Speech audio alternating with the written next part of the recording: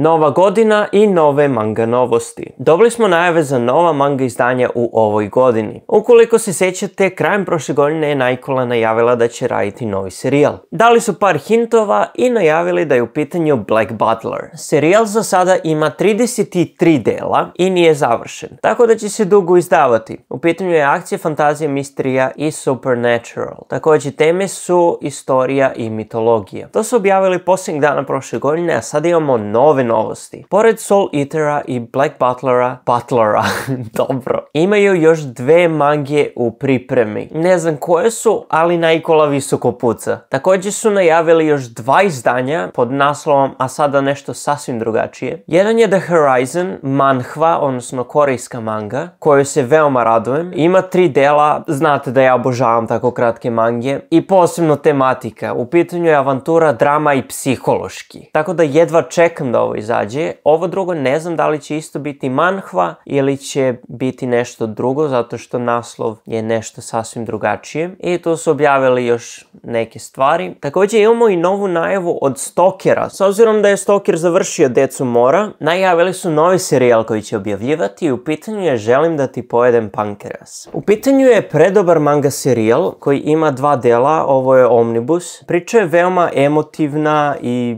za plakanje, tako da ukoliko vas to loži, ja definitivno preporučujem zato što je predobra priča. Žanar je drama, ja bi dodao i romansa. Stoker priprema srpsko izdanje ove popularne mange u dva tankobona. Znači, razdvojit će ga u dva dela. Sad jedino što mene brine oko ovoga je kad će to izaći. Zato što od kad su oni najavili Decu mora, pa do kad su objavili prvi deo je prošlo 8,5 mjeseci. Tako da, ono, nemam nade da će ovo biti nešto skorije objavljeno, ali ko će ga znati. Svakako serijal je predobar i preporučujem svakome ko voli romans i da cmizdri uz mange da kupi ovaj serijal. I naravno jedva čekam Horizon od Naikule. Tako da to je to što se tiče ovih manga novosti, a mi se vidimo u nekom od narednih videa. See ya. Peace.